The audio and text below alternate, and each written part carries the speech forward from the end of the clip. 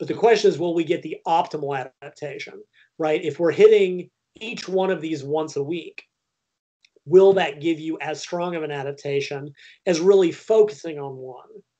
And I think my gut would probably say, I would probably tend to think the latter is more true in the sense of you'll always get better by focusing on one thing than by trying to do too many things at once. Now, admittedly, this comes out of sports training, but the same thing holds, right? If you are a cyclist and you're trying to build your endurance and your climbing and your sprinting, you're not doing anything particularly well. If you're a beginner, fine, you can get away with it. But at the higher levels, you need to do targeted blocks, which leads into the periodization thing. Although, again, context, and I'll loop back around to one of the best presentations I ever saw, uh, NSCA thing years ago. So if you're a beginner, it may not matter, right? And maybe training all maybe training all of them will be beneficial because it will, in theory, keep if you're keeping everything ratcheting up the same level, you're not getting a weak point. But as you get to higher and higher levels, you just can't do it all, right? If you look at the daily undulating periodization research, and for folks that are not familiar with that terminology, the idea was that every day you did a different repetition range, right? So rather than doing four weeks of 15s, four weeks of 10s, and four weeks of 8s, or whatever, you did one day of 15s, one day of 8s, and one day of 10s, or 10, 3, whatever it was.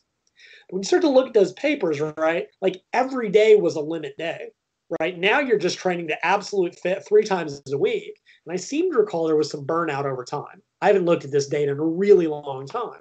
But it's like, okay, some of the early heavy light medium systems like Bill Starr were very similar, right? Is like, all right, we got your max, your max fives day, or even starting strength, some of the uh, Texas method stuff. But you're like, all right, when you get to now, light can be 75% of the heavy day, or it can be eight, and the medium, or it can be 12s or whatever, but it was never quite to failure.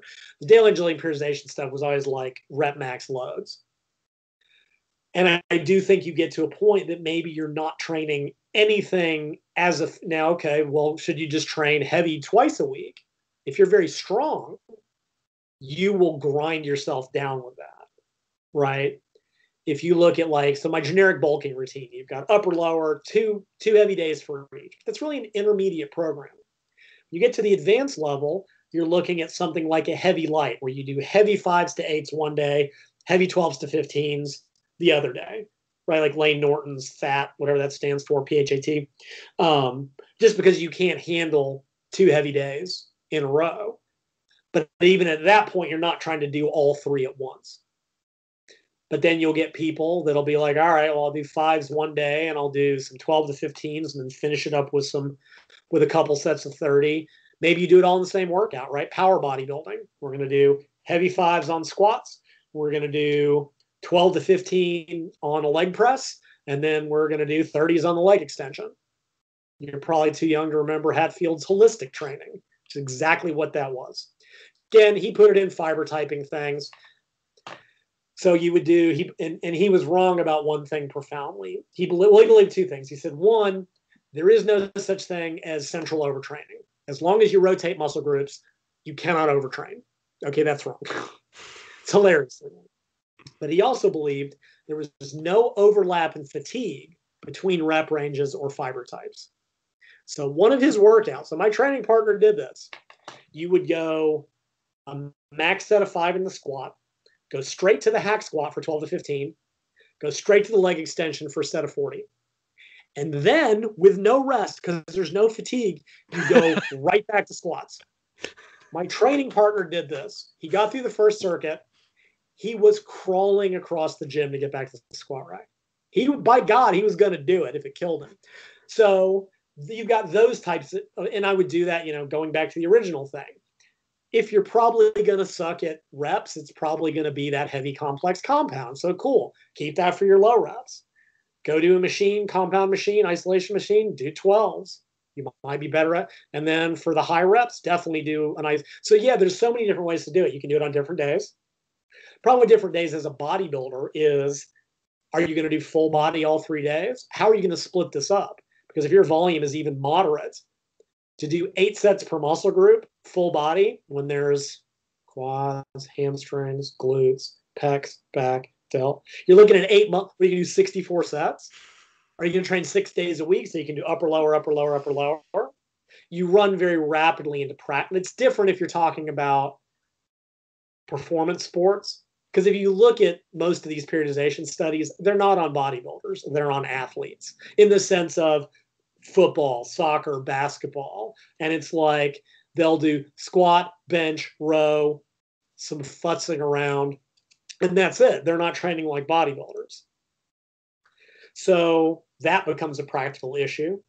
It's probably easier to do them all on the same workout because quads are, you know, if you're training quads, cool, do five sets five or two sets five, do four sets 12 in leg press, do two sets leg extensions. Trust me, you'll be cooked.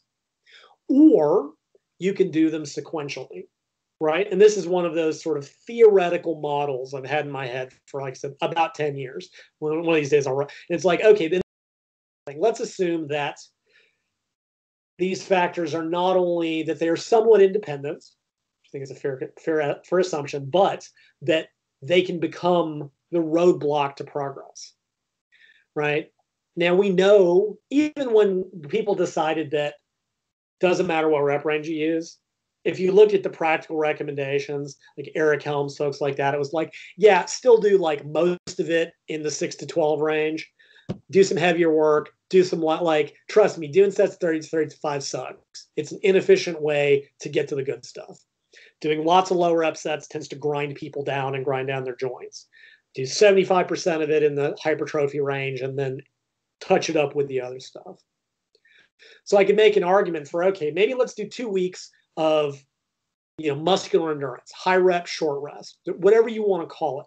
Metabolic weight training uh, depletion training is what i called it in ultimate diet 2 whatever right? And you're going to do sets 15 to 20 fairly you know two up two down. Do light load training do bfr if you really want. Fairly short rest period it'll suck. It will totally suck but do that to hopefully build some mitochondrial function, maybe some capillary density, whatever else, you know, some glycogen storage capacity, buffering of acidosis. I think for most bodybuilding applications, the biggest block should be the traditional hypertrophy block, right? Like, yeah, doing that can probably get some growth. I don't know who's going to do that exclusively, consistently, because it's just a miserable way to train. Except again, it looks great on Instagram, and that's really what this is all about right now. But big picture, right? I think the main block of it is going to be more traditional, where you're doing, you know, in the six, the traditional hypertrophy range, maybe touching it up with. But then I do think there's a benefit. And this is in your outline, and I still got to come back to that that presentation that I think ties into this. I do think short blocks of maximal strength work, by which I mean sort of power fives and sets of fives and below, very heavy weights. I think that could be beneficial in small amounts for bodybuilders because I do think the neurological components often go untrained or not optimally trained in bodybuilders right? There's always been kind of the it's like oh bodybuilders are bigger than they are strong which is true. Most natural but most big natural bodybuilders are strong but proportional to their size they're not powerlifter strong because they don't practice the low reps. Of course, if you take a big bodybuilder and train them like a powerlifter for three months, they will kill everybody. Right? One of my favorite old stories, this was in the early 90s when American Gladiator started. So, what they do, they took a bunch of bodybuilders of the day and they put them against athletes. And for the first two years, the bodybuilders got stomped. Just, they just got abused by these little 160 pound guys that could move. And two years later, they became unstoppable. The bodybuilders now had all that muscle mass that they had learned neurologically how to use in those events. And they were effing unstoppable. First meets I took Sumi to, there's this female powerlifter, junior. She was an extremely successful bodybuilder. She was jacked to all hell. Someone got a hold of her and said, Can I train you like a powerlifter for two months? And she went in and set every rec like picture perfect form, picture perfect technique. Because when you take all that muscle mass and teach it how to do that, but it, by the same token, right, working from the general idea that over time you need to add weight to the bar. That can become limiting because neurological as if that if your neurological components and that describes a lot of stuff I won't get into are limiting touching that up bumping that up a little bit can help. Doing a little three to four week cycle where you really push do some do some triples do some fives as long as you uh, do it safely.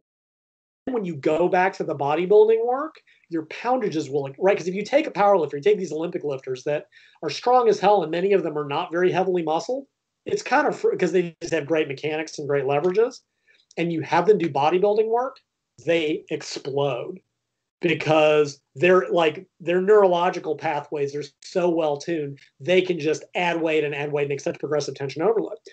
But that wouldn't be a majority of it. I think even if you look at the power building stuff the heavier stuff is right on that cusp. They're like eh five to eight is the power stuff and then you do your pump. And even then you go back to uh, McCallum, key, uh, whatever his book was, his old bolt program, five sets five with two mat with two warm ups, three heavy sets, eight sets of ten on thirty seconds. You do your tension work, you do your pump work. None of this is new. Nothing I've ever said is new, hardly. So then the question is, all right, so is it better to sequence them?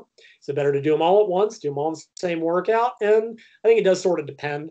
Um, one issue that we do have to consider. And this is more of a sports thing, right? The whole periodization thing. Back in the day, did your six weeks of endurance, six weeks of intervals, six weeks of speed work.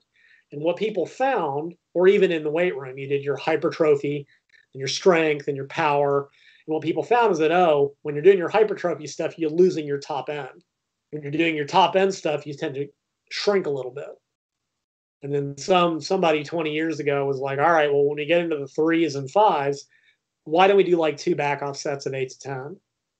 Boom, growth wasn't lost. Now, I think some of it was glycogen water, but it doesn't matter. Then we get into the idea of maintaining loads or, re, or retaining loads, whatever you want to call it. And in sports training, this is the new model. Rather than doing things exclusively sequentially, even when you're in a primary endurance block, you do a little bit of top. You know, you never want to lose your top end. Hypertrophy, you maybe do, you know, little bit of it. You don't want to lose that endurance you worked so painfully to develop. So you start seeing over where it's a primary focus and maybe a little bit of the other work, right? So Issurin has his block training, which is really just old school linear on a shorter time frame. And he's like, all right, for six weeks you pick one, maybe two capacities. And you do maintenance loads, which means very low volume, just a little bit of it for everything else. Then you move to your next focus, maintain what you know endurance is easier to maintain than anaerobic stuff. Again this is sports performance but i think it can apply. So again which is best? So let me go back to this presentation. This is an nsca an nsca thing on periodization models. And this guy was like all right we got linear we got your daily undulating periodization then we got some of the block training conjugate you know the advanced stuff they all seem to kind of work but his his premise and this is where i thought he goes but if you look at the studies if you start to look really in depth what it matter what it depends on is the training status. For beginners linear works fine right? If i'm training a beginner if you're training a beginner we're going to start with lightweight focus on technique build the volume up gradually because that works. Over time we'll go a little bit heavier maybe bring the repetition range down do it again, reset, you go until that. But at the intermediate level, you can still kind of bring everything up. You're not so strong that you're going to grind yourself down with too much heavy work. Maybe they, and, he, and his point was in the middle range, or for the athletes that need a variety of capacities but don't need to maximize anything. That's where daily undulating periodization comes in. You've also, with athletes, you've got to work in their sports training. Like they don't have huge blocks to devote to strength training because basketball players are not weight room athletes. Football players are not weight, I mean, kind of, but you know what I mean. Their sports training take, so it's like, well, we have limited time. We have limited movements we need to do. We can do a little bit of everything, and that's probably better. But then at the advanced levels, as you, especially for strength and power athletes, you can't optimally develop everything at once because you are spreading your adaptational energy to pull a term out of of the ether it's it's it's voodoo it is it's voodoo but it there's something to it The Russians called it the current adaptational reserve because the Russians didn't care if something sounded like voodoo as long as it worked. There's something to it. There, the body has a limited amount that it can adapt to. And I mean, we can see this. A bench specialist is always better at the bench than a three lift specialist. Triathletes, especially in the early days, were not good swimmers, cyclists, or runners. They were mediocre at everything. Compa- they're better now, but compared to individual athletes, decathletes relatively are mediocre at 10 things as opposed to being great at any one. So, but the body can only, and, and this is with my my model, the advanced level I pro, program specialization cycles because you're not going to bring every muscle group up once you're year three or four. You pick two muscle groups, you just hammer the hell out of them. And if you want to get, if you want to get really theoretical, look at wheelchair athletes in a very real sense, right? Their upper bodies tend to be jacked. And if you want, you know, well, they're not having to put energy or mean or to maintain or even build lower body muscle mass. One of the best benchers I ever trained, she had a hip injury. We barely squatted her. Her upper body was huge because every bit of training she did went to that. So at the advanced level, you do need to, you just can't spread yourself too thin if you're trying to develop neural pathways, you need to train those more frequently, right? Look at what all the strength power guys are doing. Like higher frequency training is currently in because to maximize practice neural pathways, all that stuff, you've got to doing it once a week. And I mean, all powerlifters did it once a week for decades. Powerlifting again is unique as a sport. I know of no other sport where you can train your sporting activity once a week and get anywhere. West Side Barbell didn't train it at all, right? I again, this is why I love powerlifting. I love the community. I love the sport. It should never be used as a model of training for any other sport because it it none of the rules apply any more than bodybuilding should. Are there lessons we can take from it? Sure. Show me any other sport where you run once a week and can be elite. It doesn't there's no sport I can think of anyway, so yeah, you're going to have to train, but at the same time, you don't want to lose those other adaptations. So in practice, what do we see powerlifters doing now? They do a little bit of work at 90%, kind of year round. Like not grindy, but enough to keep that practice in. And then first half of a cycle, they might focus mainly on, you know, either assistance to bring up weak points, hypertrophy work to support the assistance work, and then as we get closer to site, closer to meet, then you maintain your hypertrophy work or your donkey work. You maybe maintain some assistance work. I do think Louie Simmons was right. He said, "What makes you strong keeps you strong." Don't you never drop it out, but again, you don't take it out completely because at that point, and again, so it's how I train Sumi, right? We have a 13 week cycle. The last six weeks going to the meet, focus. She does a max out day once a week, right? So the first six or seven weeks, building up her competition work, but it's mainly focusing on driving up the assistance work or supplemental stuff and her hypertrophy stuff. But at week, but three weeks out, everything is at maintenance. Other because I want her entire focus mentally, and I want all of her adaptational energy going into the competition lifts. I've already built, but I maintain it. She might do only one top set versus three, but I never drop that out even the week of the meet for her. Again, smaller female. My point all just being that the current model, at least for sports training, is you never completely stop training any. It's a matter of priorities. Again, but with bodybuilding, we're not looking at such differential aspects. But I do think at the advanced level, like dihedral periodization, you're just kind of throwing one okay stimulus at any one of these given potentially preferential adaptations. So I think doing, you know, and I would, if I were going to do like, well, if somebody's metabolic fitness, if their conditioning was way down, they might need to do a longer block of, of that metabolic work till they till they fitness fitness endurance takes longer to improve. It's really boring. It's crappy, unfun training. But but even you know when people do my ultimate diet too, the first two weeks of depletion training, they just curse my name. It's just the worst crap ever. And then it it a lot of that stuff happens pretty quickly locally, some of the general fitness stuff, and maybe do a little extra aerobic work, get your fitness up. By the time you're able to get through that full metabolic workout and come out without being completely wrecked, All right, you've gotten the adaptation. Now we move into, you know, your primary hypertrophy block. We're going to focus on that 6 to 12 traditional range. And going back to the original question, maybe maybe on a certain movement it's you're only good for sixes or fives or whatever. Just because that's you you've learned that you cannot add reps or add or, or progress in a higher rep range. Cool, do that. If you want to do some sets 12, do it on something you can progress for higher reps. If you still want to throw in, you know, a miserable, you know, a, a finisher set of 30 to 35 to get keep that metabolic, sure, more power to you. Um, or you know do that once a week or however often you train your muscle group. And then after you've done a couple cycles of that and the way i program hypertrophy cycles is usually couple week build up and then anywhere from six to ten weeks of really pushing it hard because that gives you a, a two to three month it's a nice concrete training block. Eight you know if you burn out if you're done at six go ahead and you're done. And if you can keep going for four more weeks that's 12 weeks. Maybe you do a couple of those in a row then do like a three or four week you know, power phase, strength phase, where you do some very heavy work only on the big compounds. I mean, that can be leg press, squat, machine chest press, bench press if you're good at it. Like you you don't generally want to do leg extensions for fives. I've done it. I've done lateral raise machine for fives. I wouldn't necessarily recommend it, but you can. Um, do a little bit of, you know, do a little bit of volume stuff afterwards right? That was if you look again at Bill Starr stuff as he got into the advanced levels, right? Once they got into the triples and the volume, total daily, like, all right, then we do two sets of 10 to get the tonnage. Again, there's really nothing new to any of this. It's just a matter of how you how you're sequencing it.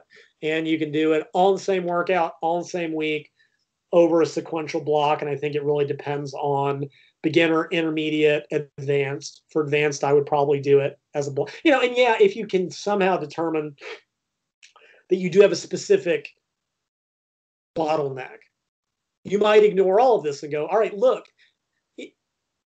someday, here's my dream for the world. And maybe this is the wrong thing to talk about as we enter an authoritarian world.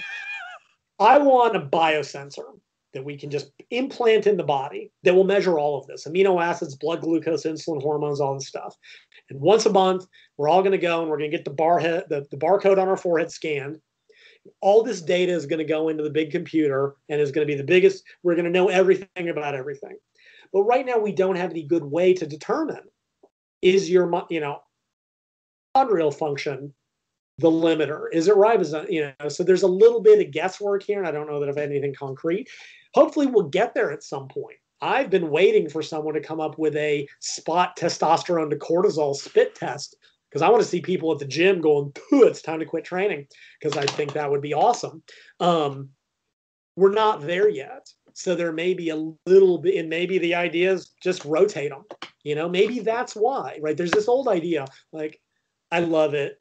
The best workout's the one you're not doing. Oh, stop. I don't that I hate that kind of trite crap. But it's like you know, or oh, when this stop uh, uh, in powerlifting, oh, if your bench is stalled, stop benching. No, that is so that is terrible advice. But in but you know, but in bodybuilding, it's like oh, whenever I change routines, which then becomes variety, which then becomes mix it up, which then becomes muscle confusion, which is a whole different level of stupid. But yeah, okay, fine. You've been and and okay, is it why? Sometimes I think it's psychological. People get bored. I don't. Depends on your personality. So I was a good endurance athlete. I don't get bored. I can do the same workout for a year on end until it breaks me. But by and large, some people get bored much more quickly, you know, and maybe it's your plan, maybe it's an intensity thing. Maybe it's a novelty issue. This is something they've started to address in the research. Oh, we had, we looked at what people were doing before the study because maybe it's not the volume, maybe it's not the sets and reps, maybe it's because what we're having them do is different than what they did before. And this is an important consideration because most people, if they're training the way people typically train, you move them to six sets per muscle group, that may be one fourth of what they were doing, right? It's it, but hypothetically, could that change in training be targeting one of these pathways that had become the limiter. Now, I'm not saying it does. I'm not saying it is or it isn't. But I'm saying I have to wonder if that's the case. I have to wonder that if someone has hit a block, they're working in that five rep range and they've just hit a plateau. And suddenly they're I'm going to 12s. And then all of a sudden, oh, I'm making new progress again. And for, is it because it's training a slightly different and undertrained component of the system? It wasn't. Now, again, in the modern era, most people do a mixture, right? I always kind of get annoyed when people are just like, you know, powerlifters this because they, and bodybuilders are this. And I'm like, I don't know any powerlifters in the modern era that only do triples. Back at, every once in a while, there are systems like that. But to talk about, oh, powerlifters are bigger than bodybuilders or whatever, it's like every powerlifter I know in the modern era does hypertrophy work. Nobody is doing explicitly one or the other for the most part. Bodybuilders are less likely to do the power work or the heavy work. But then again, power, I've watched power building come around. Oh God, it must have been a dozen times. And I've been I've been in this field a really long time. And everything old is new again. And people decide they don't want to be all show and no go and be strong. And so they are training a little bit of everything anyway. So yeah, I have to wonder if that's not the case. If maybe it's a function of all right, because then you rotate back and suddenly the stimulus that kind of you hit a, a you know hit a wall on maybe because you've eliminated a different weak point right? If you look at west side which is more about strength well if your weak point in the bench is lockout you do pin presses or board presses or whatever. Now you identify the new weak point because training your strong point is not going to improve your bench anymore Olympic lifters, Chinese Olympic lifters, every two weeks, their coach determines what's limiting. They do a two week block to fix that weak point with specialized movements, and then they rotate them. And in a bodybuilding, in a bodybuilding standpoint, we're looking more at physiological components, like we talked about capillaries, mitochondria, ribosomes, androgen receptor, some of which maybe we can train and maybe we can't, neural pathways. And I don't see fundamentally why one, I don't think any single form of training can possibly train all of them optimally. Something, even assuming they were equal to begin with, if someone is starting with something as a higher point, whatever's limiting is going to become more limiting over time because it won't unless you do specific work to catch it up. And this is all totally hypothetical and completely un, un, cannot be applied on any meaningful level yet. But I'm hoping that someday we'll be able to like whatever stick the biosensor, pull the Star Trek thing, and be like, boom, you've got piss poor ribosomes. Let's implement a ribosome train. I'm surprised nobody's done that. I thought about it, but all I've seen is that you train and your ribosomal activity either goes up or it doesn't.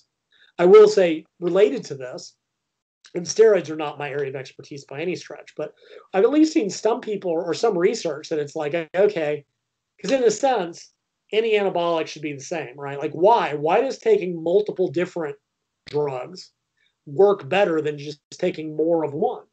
And I seem to recall like they do have slightly differential effects. Like one of them, Winstrol, unbinds testosterone from the binding globulin. So if you take that, so if you take testosterone to jack up test, Winstrol gives you more free test. I think one of them specifically improves ribosomal activity. And I think through hook and by crook, bodybuilders have kind of found like, okay, this one is going to jack up testosterone as a base. This is going to sort of get this pathway and this pathway. And maybe we're getting a, a synergy of results. Um, the, the question then is, can we do anything uh, in terms of training with that? Pure gold. I, I thoroughly enjoyed every bit of that, Lyle. But I think again, you mentioned this is all theoretical, right? But I think these Very discussions are super valuable because if if we look at the current research on periodization and, and, the and the reviews we have, we would conclude, well, periodization doesn't matter for hypertrophy, but it, it's kind of a stretch, right? Because when we look at the models used in the research setting, they're they're not to get as jacked as possible. Muscle hypertrophy is more or less a secondary outcome that we're looking at, and they were designed to improve performance in, in a given sport. So if we look at that, we could say that, you know, periodization doesn't matter, but a- as a concept, it does seem valuable. And you touched on this theoretical model and my ex- I had the same exact thoughts coming to mind, and that was if if we consider the contributors to muscle hypertrophy and performance, and we look at the variety of rep ranges we can utilize, I think it does seem like a good idea that we primarily use these blocks within the traditional hypertrophy rep range of six to twelve, and then every few blocks probably we should utilize some sort of maximal strength block where we're we're primarily working in those lower rep ranges. And then also in those in those traditional hypertrophy blocks maybe we do you know just tack on some some metabolic work at the end just to kind of preserve that fitness component. And then in regard to utilizing a specialized metabolite or work capacity block maybe we just use those on an as needed basis right because because we have a little yeah. bit of that in the traditional blocks and then you know if you find that your fitness is you know decreasing to a point where it's significant it's limiting your your performance then maybe we throw in a specialized block but outside of that just uh, utilize some touch up work with your traditional hypertrophy training and then maybe throw on a maximal strength block here and there just to really ramp up those neural adaptations yeah. and possibly potentiate your your future more traditional hypertrophy phase yeah i mean i think that's yeah basically a um and and like I said, if you look back at sort of the history, I mean, weight training has gone in bodybuilding in cycles and cycles and cycles, and you know, none of these are particularly new ideas. Um, you know, if the old, yeah, do some heavy work, do some pump work, maybe do you know some really really miserable high pump work, and that seems to kind of kind of get it. Um, I think even if you look at you know what we what seems to be the case with all right heavy tension training, mainly the muscle fibers the pump training, higher volume. And, and this makes sense biochemically, right? Higher volume, shorter rest is going to be stressing metabolic components more so than myofibrillar. You're not generating as you can with fatigue, but if but it is it is a metabolic issue. You're going to get more glycogen depletion, acid stressing the energy energetic pathways. It makes perfect sense that those would adapt somewhat preferentially if you're stressing them. So even if you go, you know, like I said, sarcoplasm, maybe it becomes limiting. There's an old theory. God, who was it? It's the full bag theory of muscle growth. Man, I wrote about it somewhere. This is like 30 years ago. And, and it was kind of this idea that a muscle is just like this bag of fluid. And it's like that the bag can get so full with that it doesn't have any room to grow. And it's like, all right, maybe that's what just even with that, we alternate some heavy tension work once you get the fibers that they have no more room to grow, well, now you need to pump up your sarcoplasmic work and do a pump cycle or whatever, or you just do a little bit at the same time, like you said, staying in that kind of traditional rep range and then topping it off on the on the ends.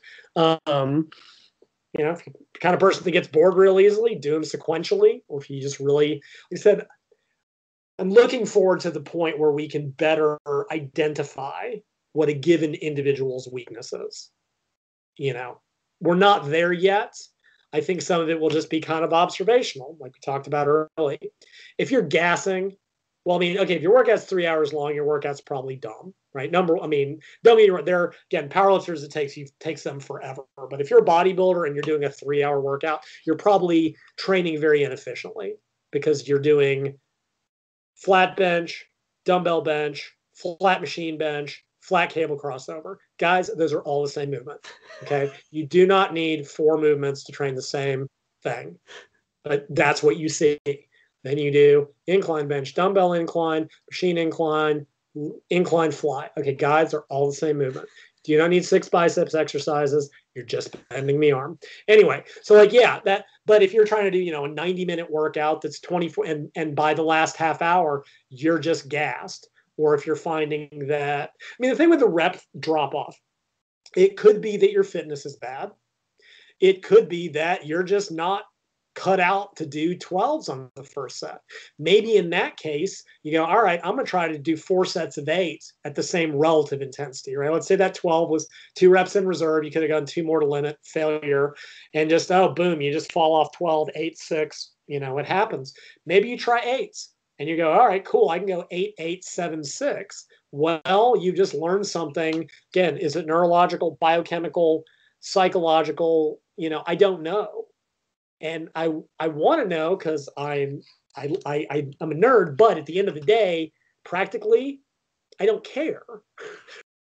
in a very practical sense, I don't. It's like again, I know I keep going back to the well, same as powerlifting, but I train her like her training is so unique to her that I described it and it's really fascinating, but I don't know that I would know, apply it to anybody, right? Anything more than one rep in the squat, her technique falls apart. Partly just because she's not built to squat. Like she does almost exclusively singles. Most people would ne- now they're not maximum singles, she also she loses a ton of top end strength if we do anything below about 85% is useless for her. For reps, because I did back in the day, but like, I just do three sets of eight in the squat, and she'd never get past like 95 pounds. You know, now for singles, she's squatting, you know, 235, right? She's not built for reps. Physiological, anatomical, I don't really care in the big picture. I don't really care. And same thing, if you're you can do four sets of eight without a big rep drop off, and a set of 12 will blow you up for the rest of the workout. Well, you're as a bodybuilder, do you care? If you can do four sets of eight and add weight more rapid, because again, like I said, most people or a lot of people cannot add reps ever. Even with sets, right? I frequently we could get into the issue: how do we adjust the weight? Do you have to get all four sets? Let's say you're doing four sets of eight two reps in reserve, you're probably going to go two, one, one, zero, right? Do we wait until the fourth set is two reps in reserve? Do we adjust it based on the first set performance and then drop the weight, right? I think whatever Berkhan calls reverse pyramid training, which is nothing new at all. Like you start heavier and then you drop the weight, like whatever. Well, I've seen people, or even some of the old models are like, all right, you stay at the same weight, you get four sets of eight and they'll go 8877, 8877. They will never, ever, ever get the last two reps. Ever. I don't, it doesn't, it just for whatever, for whatever reason, it's never going to happen for months. And you go, okay, this is not an effective progression for you. At which point, like, okay, I'm going to maybe you adjust the first set add weight on that one and then drop weight. Maybe if you go three reps in reserve, you can do it, but okay, you're trading a little bit of all, maybe just add, because then you will see people that you add the weight and they still get 8877, right? That staying at the same weight, they were never going to get to 8888, but you add weight and they still get the same 887. So screw it. Just forget trying to get, just that's their drop. It's just who they are as a person. And for bodybuilding, it doesn't matter. For performance, strength performance, it probably still doesn't matter. It's just you're using a progression that is like trying to use six to 12. Oh, just add a rep till you get to 12. Some people will never, ever do it. Ever. Beginners always can, but some people and don't do it. Just go to six to eight. They can't ever get to eight. Just do strength sets to six. and add weight every couple of weeks. You know, watch bar speed. So some and that that does seem to be very individual. Um, but I think, like I said, hopefully one of these days we'll be able to really identify what any given individual's holdup is to know, you know, because like I said, if you if it's mitochondrial function, maybe some aerobic work, even high rep short rest will get a little bit of that metabol will get some mitochondrial adaptations going. Maybe that's what they need to do for maybe that couple week block will give them enough of a, an improvement to actually get more growth um, out of the hypertrophy work. Again, maybe you're like, ah, I did it heavy. I did the heavy low volume stuff, but boom, I changed to higher rep, short rest, and I started growing. It's like, well, okay. Um, who am I? Who am I to argue? Well, I'm me, but you know, if that's what I'm me, that's who I am. But by and large, it's like, okay, if that's what you've is is started working because this other model wasn't, or this other theoretically optimal approach wasn't working, then cool. End of the day, progress is kind of what matters. Um, you know, the androgen receptor thing is interesting. I don't know if we can do much with that, but it's becoming very clear in the research that some people are lucky. They are hyper responders. They are they won the genetic lottery, and the rest of us not so much. Um, so the solution for anyone that's in my group, as you know, is always 600 milligrams. That will solve all of your problems. I think that sums up the the crux of the matter extremely well. Um, if if if we leave the listeners with a practical takeaway here, it's kind of that you know, but you're just going to require a little bit of experimentation. But do we have a weak link in the chain, or is this who you are? and yeah, and both are, are very well possible. Yeah. yeah, and I mean it is like I, I and they are, you know, and I know it's you want to wrap that we need to wrap this up, but it's like they are. Well, there's debate. Some studies are finding there are non-responders, and others are like, yeah, in the aerobic realm especially, they're like, ah, but if they do higher intensity work or more aerobic work, suddenly they start get. But it's it's only proportional. Suddenly, instead of zero, they get five. You put some people on a program, endurance work, and they will get a 40% improvement of VO2 max and you put another group on the identical program and they'll get a 5% or less. Now, you could argue, well, maybe they just needed an individual program. Maybe it's because we gave them the same, which, yes, there is truth to that. But at the same point, like, I mean, that's again in the endurance realm. what did I read? Some endurance athlete who was an elite, he was born with a 75 VO2 max, right? 80, like 90 is like 1995 is like the highest value ever recorded. Most people who train start at like 30, might get to 45. I think I got to about 60 through years of training, right? Which is good, but the elites, he was born higher than most people will get with years of training. And he probably was highly trainable so that when he started training, he jumped to 90, right? You have, you know, great athletes are born and then made. The training has to be there, but we've all seen that guy who does the stupidest training and blows up. And we just get frustrated at them. And you got guys that do everything according to the best science, the best training, and just never get anywhere with it. And they're just not built for it, you know, and it sucks. Um, I don't think that's really been looked at in the resistance training hypertrophy realm so much. There's even there's a famous study from years ago. They looked at uh, frame size, I think, which has always been that idea like, ah, if you've got, you know, narrow wrists or whatever, like that's a, a predictor. They took people that had their had a, a high, thick frame or light frame size, and they trained them. And the heavier frame size, same training program, gained like a kilo and a half, two kilos of muscles, like five pounds, and like zero. Now we could say, ah, the light group screwed, go run. Maybe they need a different training program. Maybe that gets into the whole somatotype thing.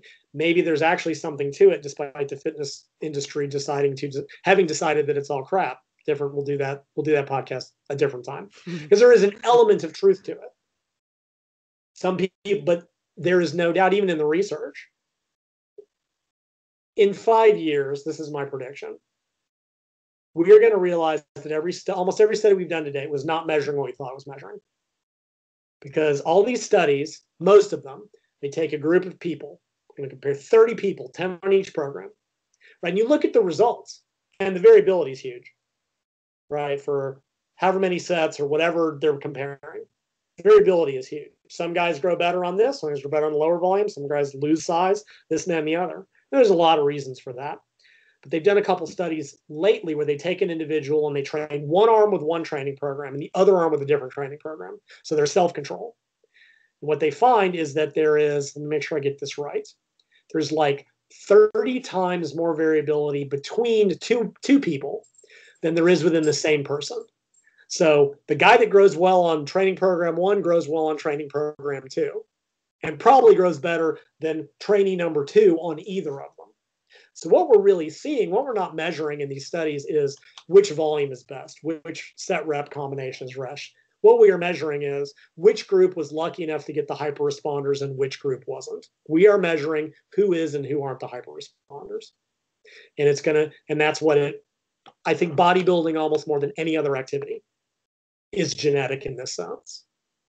It just, if you're lucky, if you got the luck of the draw, and that's what the work is showing on ribosomes, mitochondria, etc. But yeah, all these studies, all we're seeing is like, ah, you happen to get because some of the birth control studies are like this. They'll be like, all right, hypertrophy for nine out of ten women was here, and then there's one person up here. So the average is higher, right? Because you had this stupid outlier.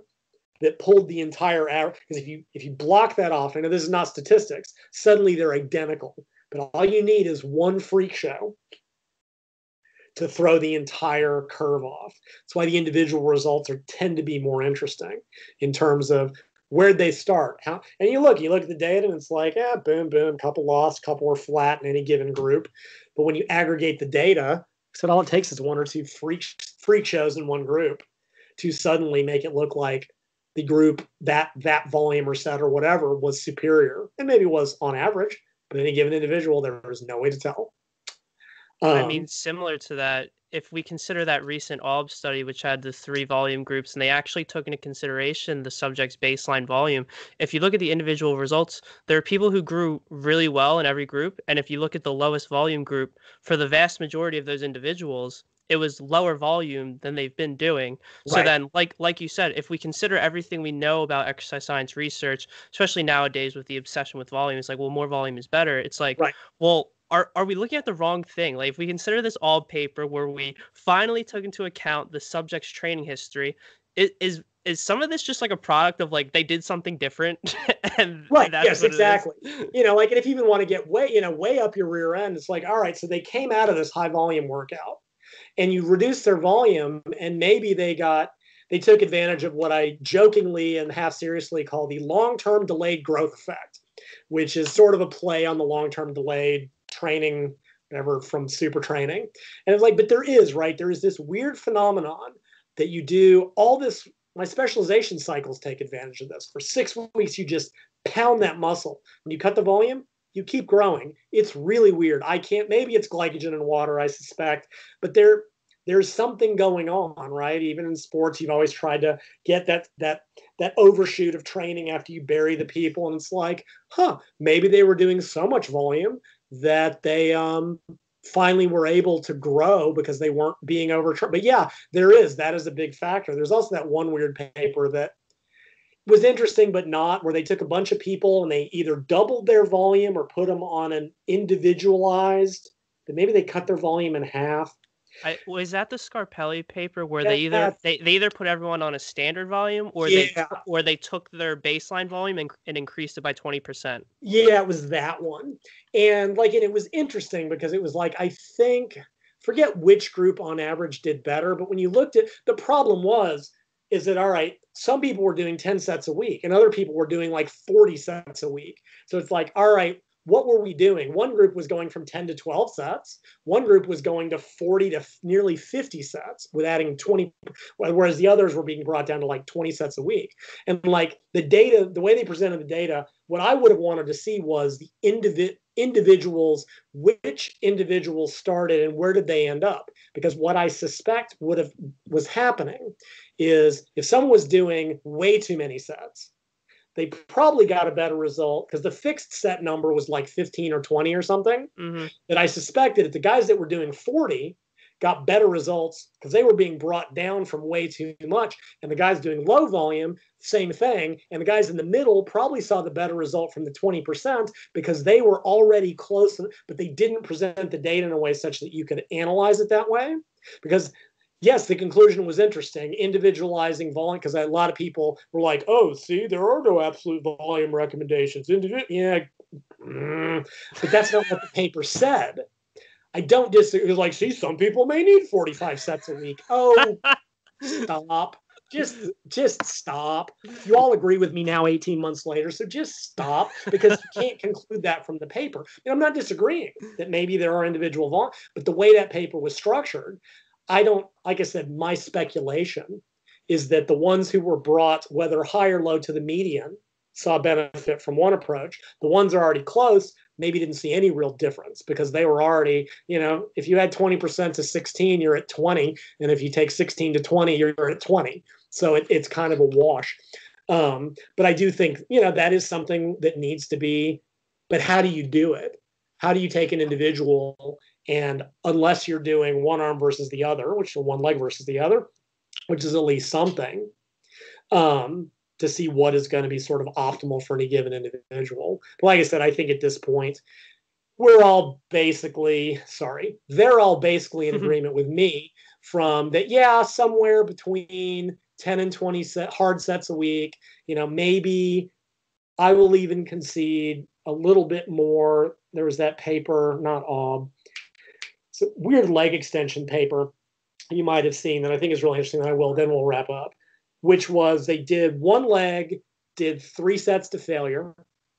The other set leg did three did sets not to failure, but did a matched volume load. Right. So they had to do however many extra sets to match the volume load. And then they did it the opposite. They did one leg did sets not to failure, and then the other group, and then one group didn't match volume load. The, the non-matching matching volume load didn't grow the same. Where they matched volume load, they did right. So basically, the three sets to failure and the multiple sets not to failure, as long as the volume load was matched, the growth was the same. Aha! I think that volume is Schoenfeld actually. No, yeah. it's more it's more recent. Hang on, I can pull it up while we're talking. Aha! Volume is the primary driver of growth. Yeah, well, that's not really how I would interpret that, but that's just me. Um, I think it's Lacerda. Performing repetitions to failure less important than volume for muscle hypertrophy and strength. Um, yeah, each leg was allocated in one of two unilateral training protocols, either failure or non-failure. But, but what the, the take home, and it wasn't untrained, which I dislike, was that the three set to failure group to match the volume load, not going to failure, took about 50% more sets. And vice versa. To, to achieve the same volume as like five sets of non failure work took like two sets to failure. And I have a feeling that if you parse some of the supposed discrepancy in the research, the ones that are defining failure as form failure or like stopping way short of failure, of course you need 15 sets because those 15 sets are the equivalent of eight sets to true failure. And I think that's where the I think that's where the contradiction will will disappear. Is that yeah, if and in the effective reps framework, I think that makes perfect sense. Set failure gets five effective reps. Set not failure gets two. You need two and a half times as many sets to achieve the same effective stimulus but we need they need to start doing the right studies and doing more endless volume studies comparing individuals. Like i said they do need to take into account previous volume. One paper i did see and i don't remember what it was they took the group and they asked them you know they got what is your previous training volume? But then they distributed them at least evenly. And they were like all right so each group got like three from the different previous weekly volumes in an attempt to balance that out so, conclusion, folks 600 milligrams. Then you don't have to worry about any of this. I promise. And if you don't know what I'm talking about, that's probably fine. and then you should probably also join the group on Facebook and, and get yourself some brain gains. Yeah, because we we do we we endlessly do. The 600 milligrams thing is from the the big early steroid study by Bhasin, where 600 milligrams of anabolics built muscle without even training, and uh, that's like I said, take enough drugs and none of this matters. So, Absolutely. I think the listeners got a gift with this one, Lyle. We we covered all of our discussion topics and, and, a little bit more. This was a just comprehensive discussion on training. A lot to take away here. The listeners are going to enjoy it just as much as I did. I know that for a fact. But that does it for another episode of the Muscle Memoirs podcast. Thank you so much for your time, Lyle. We really appreciate Absolutely, it. Thanks so much.